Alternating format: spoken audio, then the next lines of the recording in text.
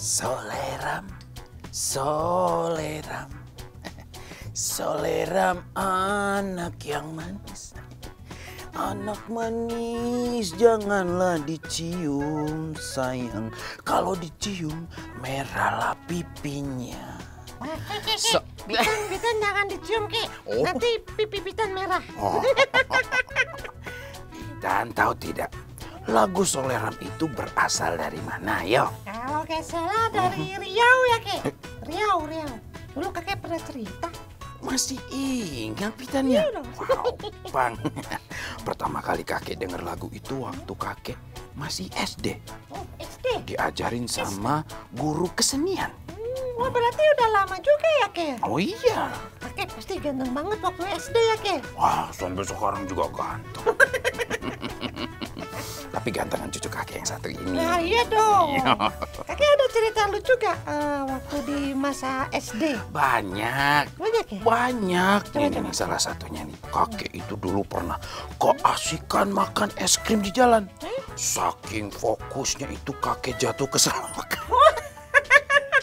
Malunya minta Ada ampun. lagi ki, ada lagi ki. Masih banyak. Tapi sebelum kakek cerita, kita belajar kosakata dulu. Ya, SD itu bahasa Mandarinnya apa ya? Sekolah dasar. Ya ya ya. Apa ya Lause? Kakek, Bitan, dan teman-teman di rumah, sekarang Lausu beritahu ya bahasa Mandarin dari SD. SD, Xiao Xue. Ah, SD. Xiaoxue. SD, Xiao Xue. Ah, teman-teman bersama-sama. SD, Xiao Xue. Sekali lagi ya, SD, Xiao Xue. SD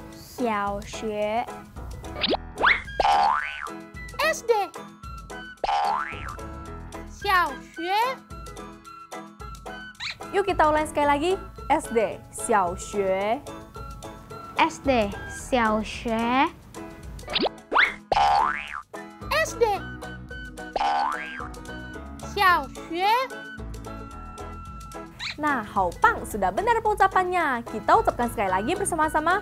SD, xiao xue. SD, xiao xue. SD, xiao xue.